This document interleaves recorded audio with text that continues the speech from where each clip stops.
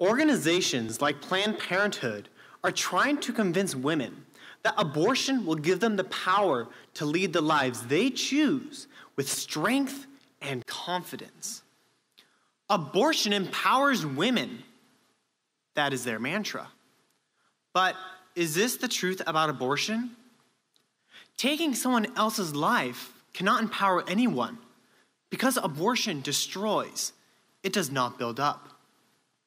In fact, abortion devastates women's health, ruins interpersonal relationships, and tears our very social fabric apart. Planned Parenthood would have you believe that to have control of your own body, you must have the right to abortion. Some claim that abortion is economical, necessary, even moral. But veteran pro abortion doctors admit that there is a psychological price to pay. Psychiatrist and OBGYN Julius Fogel, who has performed tens of thousands of abortions, states Every woman has a trauma at destroying a pregnancy.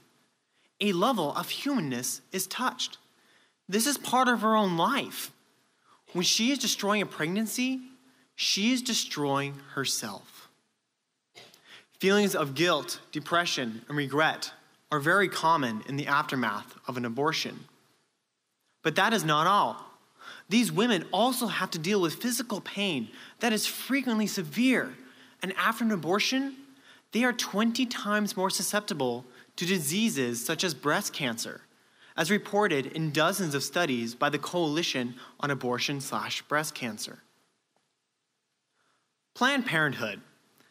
How is it empowering to be hurt emotionally and psychologically, to experience trauma and physical pain?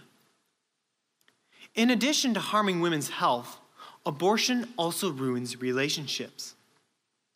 Olivia Gans, director of American Victims of Abortion, emphasizes that couples who go through an abortion break up about 70% of the time.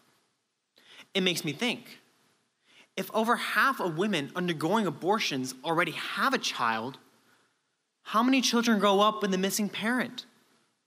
After tearing partners apart, abortion has an impact on the relationship of the mother and her other children especially when the children learn that their mother disposed of their sibling. Abortion, then, works to, to, deprive a child of the stable foundation on which they need to grow and can leave them feeling alone and vulnerable. In fact, according to studies done by Name Peters and a national longitudinal survey of youth, children of mothers who have had an abortion tend to have more behavioral problems and suffer more abuse from their own parents. Even if done in the name of social and economic welfare, abortion always has destructive repercussions, creating more brokenness and instigating other acts of violence. Ultimately, the empowerment promised by Planned Parenthood is simply a license to destroy. And this diabolical design was rooted into our way of thinking as early as 1914, when Margaret Sanger advocated the right to destroy as part of her credo of women's rights. The ability to destroy, to destroy human life, is that the type of strength that empowers caring and compassionate people? This so called right has annihilated more than 60 million children in this country alone. Taking innocent unborn life destroys the very thing that makes us human.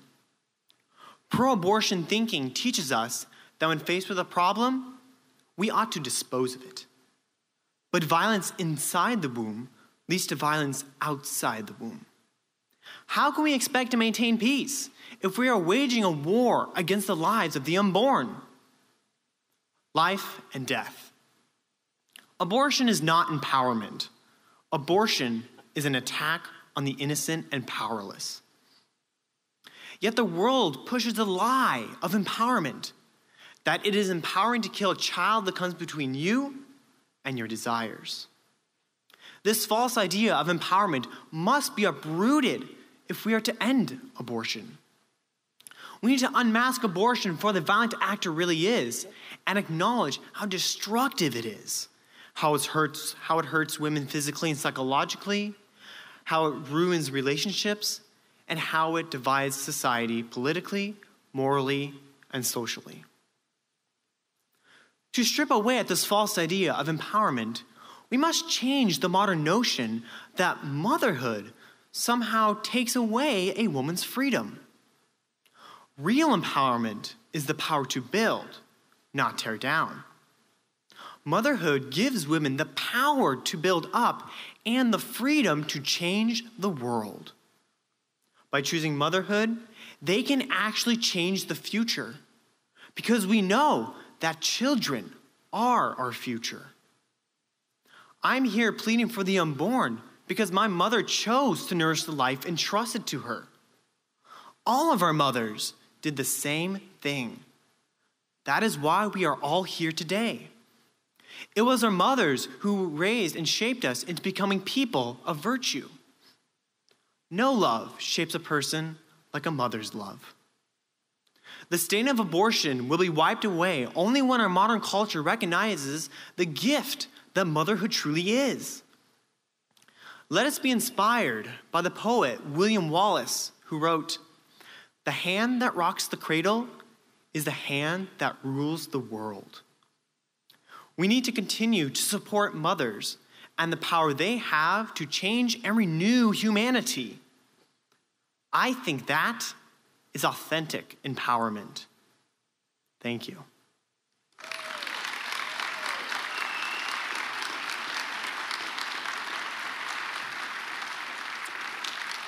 Wasn't that amazing? So, yeah, yay, awesome. Gerard will get to go compete at the National Right to Life Oratory Contest in Atlanta, Georgia this summer. We're very excited about that. I do want to shout out to our donors who allow for us to give cash rewards and the trip to nationals and um, the trophies and that. And I also want to shout out to our judges. Um, do we have any judges in here, either local or state judges? Could you? Yep. Thank you. We couldn't do it without you. You're awesome. Great job.